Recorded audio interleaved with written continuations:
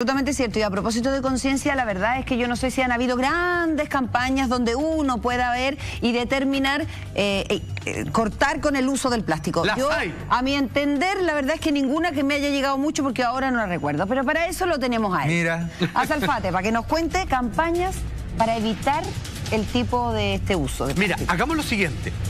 Vamos a ver cifras. O sea, pongámosle números a esta situación lo comentamos y a continuación vemos una campaña asociada a cómo podemos tratar de al menos reducir estos números horrorosos que nos tienen empantanados en este infierno de plástico.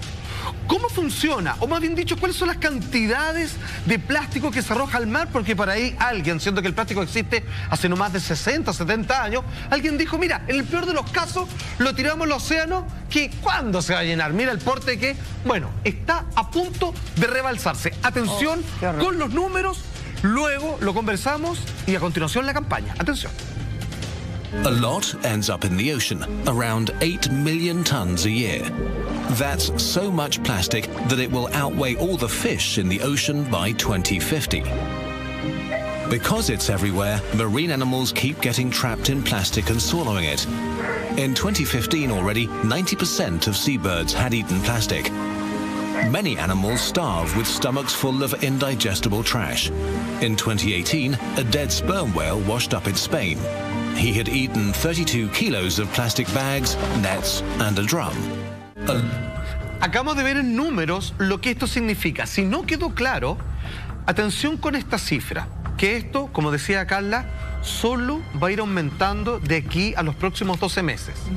Se arrojan actualmente al océano 200 kilos de plástico por segundo. Está loco. O sea, en lo que dije esto... Por segundo. Se botó una tonelada de plástico. Y ahora otra tonelada más. acaba de ser lanzado y varias más y, varias, más y así sucesivamente 8 perdón son 8 millones de toneladas al año. 8 millones de toneladas, una cifra que ni siquiera la puedo ver en mi cabeza.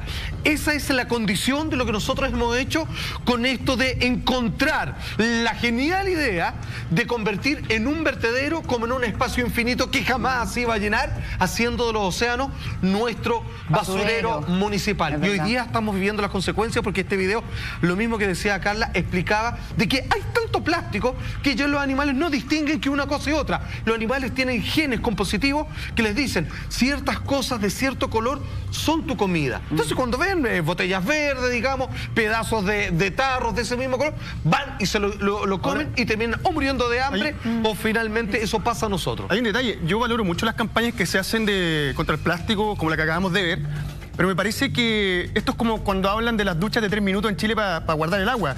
están pidiendo a nosotros los ciudadanos que hagamos algo cuando en realidad es la responsabilidad de las grandes empresas. Eh, si tú vas al supermercado o querés llevar una vida a cero plástico, es imposible. Todo producto tiene algo de plástico, aunque sea ah. el mínimo, por lo cual la lucha es muy compleja.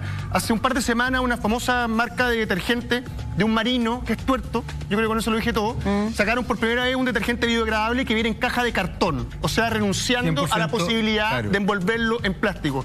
Yo te hago la pregunta, ¿Quieres tener una vida 0% plástico? Anda al supermercado y pregúntame cuántos productos que tú puedes llevar a tu casa no, llevan plástico. No lo Es casi imposible. Bueno, pero es que ahí hay un tema que tú mencionabas hace un rato, Alfredo, cuando Carla estaba hablando, que es el interés económico. Por supuesto. Y aquí hay, a ver, pero es que aquí hay algo que nosotros hemos hablado muchas veces acá en el, en el, programa.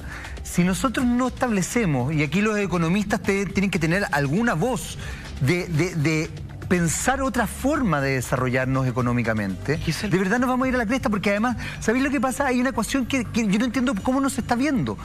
Aparentemente el mercado es infinito, según lo que piensan los economistas, pero lo que sostiene el mercado, los productos que sostienen el mercado no son infinitos, son finitos. Todo es finito, hasta el agua es finita. Entonces, de verdad... La demanda es infinita, pero no la oferta. Exactamente, entonces de verdad estamos locos. O sea, hay que repensar la economía como está planteada hasta el día de hoy. Y ahí lo que tú decías, Alfredo, tenés toda la razón.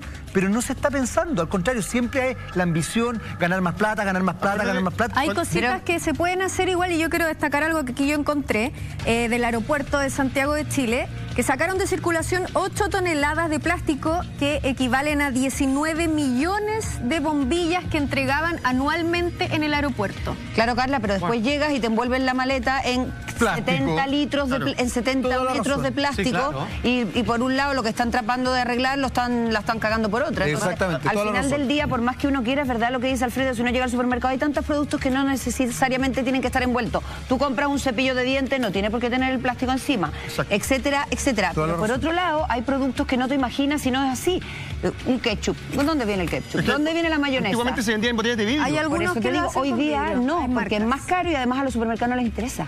Entonces al final, insisto, es el pez que se muerde la cola todo el tiempo. Y no hay conciencia. No hay conciencia. Con respecto a las cifras que presentamos hace un momento, existe una campaña que eh, eh, no, son todas extranjeras. Ah, ya. Que le llaman ¿Qué ves? Finalmente, ¿hasta dónde tú te das cuenta y cuáles son los cuidados que hay que tener para cuidar la fauna animal y marina, por supuesto, de los animales me refiero, en los océanos? Atención, a ver si con esto se cambia un poco la conciencia.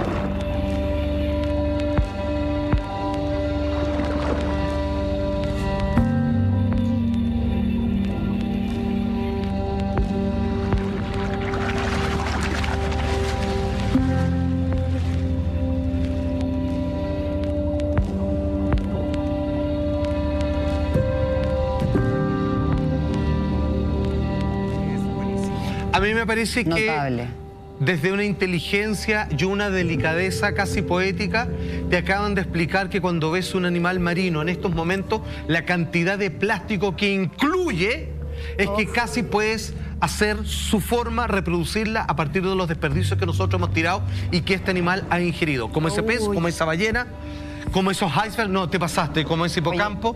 Es, ¿Qué ves? Así se llama. ¿Qué estás viendo? Cuando ves un animal, fíjate la cantidad de plástico que debe portar en estos momentos. Me voy a ir a un tema casi kármico, pero yo creo que lo que nosotros generamos, después nosotros lo sufrimos.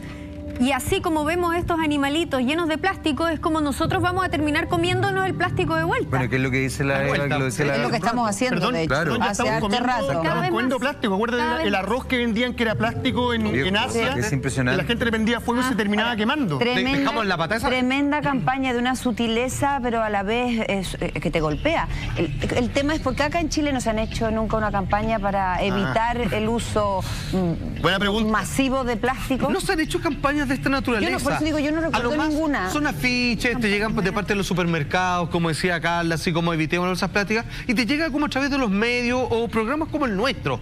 Pero no hay realmente, digamos, como algo golpeador en términos estatales que por lo menos genere algún eh, cambio de paradigma. Lo que sí, yo creo que el mejor trabajo que se ha hecho y que no es suficiente en todo caso, es lo que actualmente se divulga en los colegios.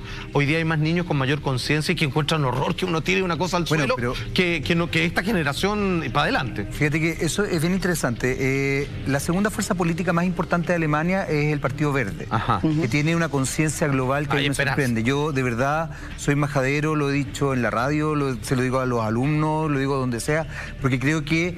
Eh, Afortunadamente hay un porcentaje no menor de jóvenes menores de 30 años que tienen conciencia de esto. Y piensa que la activista, actualmente una de las activistas más importantes a nivel ecológico, tiene 16 años. Mm. Exacto. Que es una niña escandinava, creo que sueca. Sueca. Eh, que ha desarrollado toda una teoría. Lo que tú estás diciendo, Juan Andrés, es muy cierto. Pero esto tiene que, tiene que traspasar las generaciones. Pues y cuando digo las generaciones, no me refiero a las generaciones para abajo, las generaciones para arriba. Exacto. Los sobre 30 años hasta los 80, 90 años, tenemos que empezar a tomar conciencia real de esto.